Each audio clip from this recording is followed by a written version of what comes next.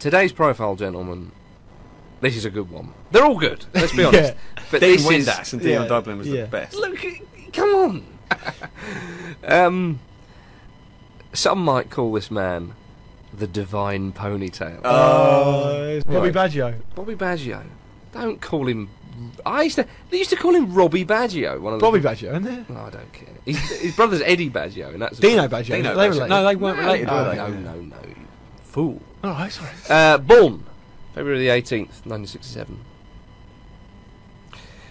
He started his career at.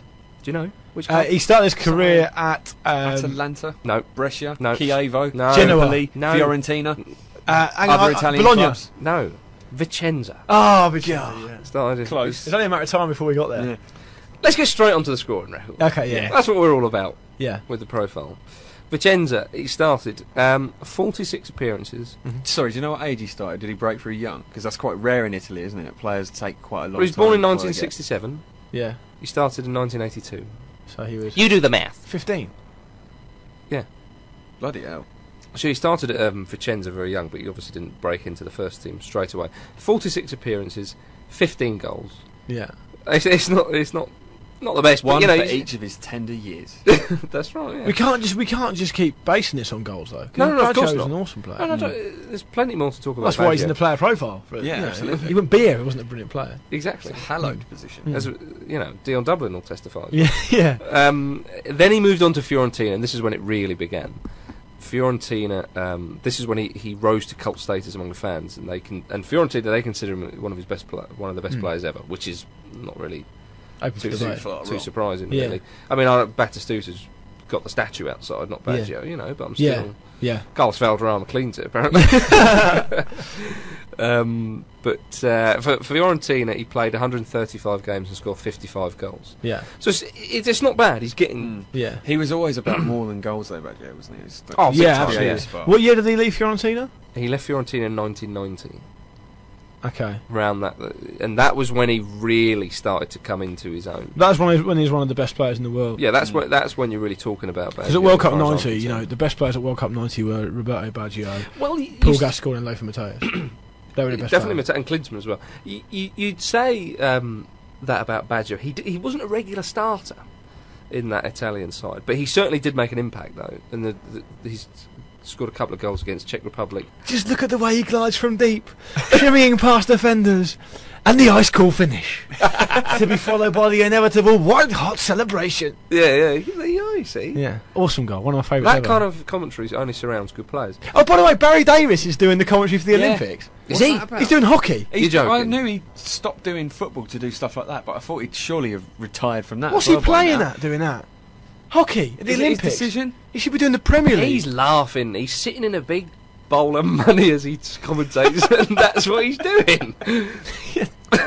you can't blame him. I mean, it's pretty cool going to China and doing that. But I mean, come Can't live in a on. goldfish bowl. Our loss is hockey, Olympic hockey's gain. That's what I Massive was- game. Sorry, go on. Massive crack on. game. No, you're absolutely right. Though. Um, I love this. Um, n- next bit, he- when he was sold to Juve, there was such an outcry from the Fiorentina fans. He was sold for twelve million pound. A lot of money back then, eh? A, a massive amount, yeah. Oh, damn, it's only a transfer, right? And uh, anyway, um, but following this transfer, on uh, the Fiorentina fans that was on the streets of Florence, there was full-scale riots. They always do that. Fifty people were injured.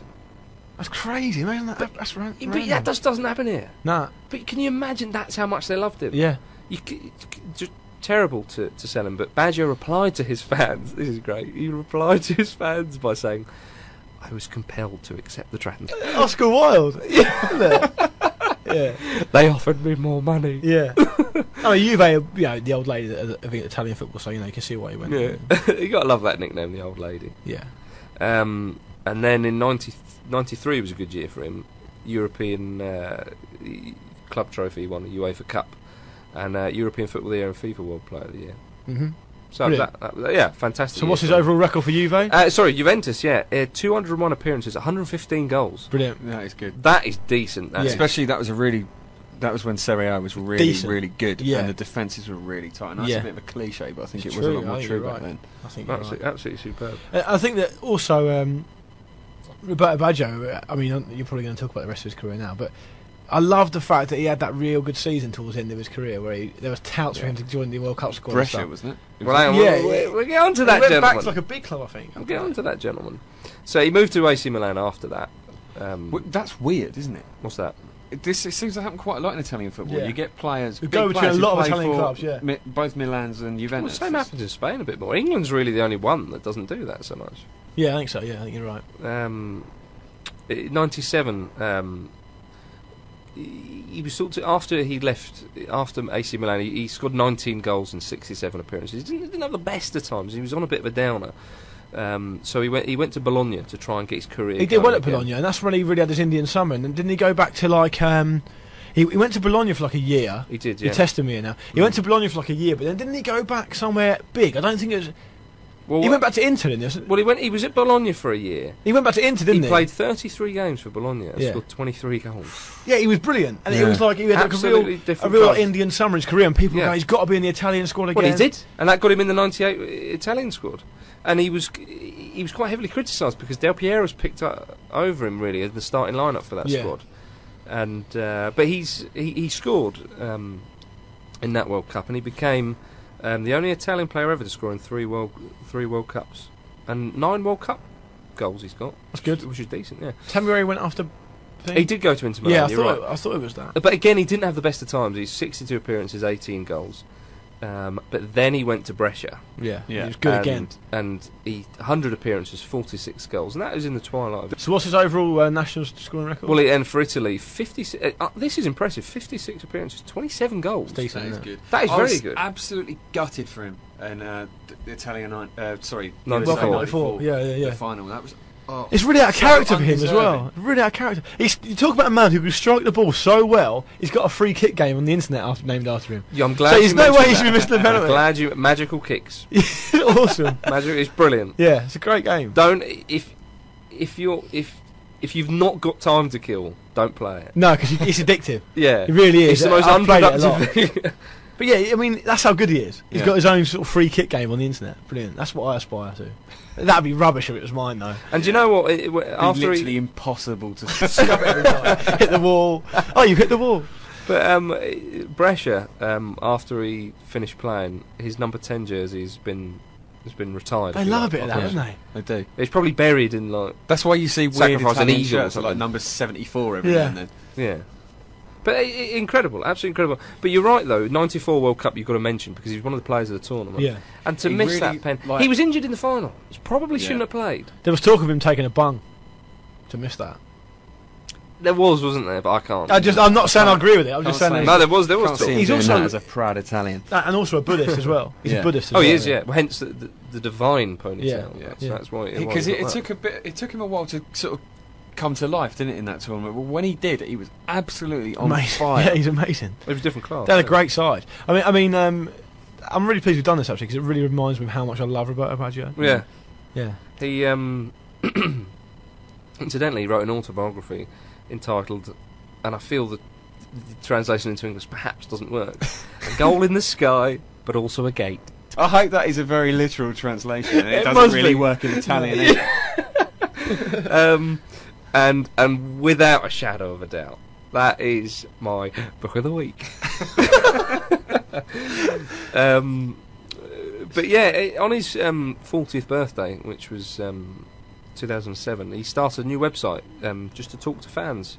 Uh, with so he's he doesn't intend to Facebook? ret- yeah, doesn't return. He would want anything to do with mainstream football anymore. He'd rather just exchange words with his fans on blogs and, and one thing and another. If I was him, I'd just watch myself on YouTube all day. Yeah. That's a good point as well. Do you know what? Right, here's a little statistic. Um, he scored 86% of his penalties, um, and he took out of 122 penalties, he scored 106. I don't know. I, I've Is that never any good? thought about that stat before. Yeah, I mean, don't I don't know about his- as a striker. Is Taking that, that many penalties. Sounds. right? I mean, it's, a, That is a it's a lot, yeah. surprisingly big amount of penalties. Yeah, Yeah, he, he obviously missed the one that really mattered, I suppose. But Yeah. I'm not taking anything away from him. But, but um, so let's run through his honours. What's he won quickly, and we'll give him a statutory round of applause. Coppa Italia, UEFA Cup, um, couple of Serie UEFA Cup was a bigger deal back then as well. it was a big deal back then. Fair to him. yeah. Um, UEFA Cup Winners' Cup top goal scorer, um, European Football of the Year, uh, FIFA World Player of the Year, and uh, FIFA top 100. Oh yeah, the top 100. Yeah, he, he was in there. But I mean, that's that's a, that's obviously given. And, and um, the football tally gave him in the all-time Italy starting 11. You know, so all, Brilliant. all kind of rules like that, really. Roberto Baggio. Absolutely, absolutely. And now his career is complete yeah, Mm. because he's been given the ultimate accolade. he can go back to his blogs with his Yeah, yeah. and download the ramble.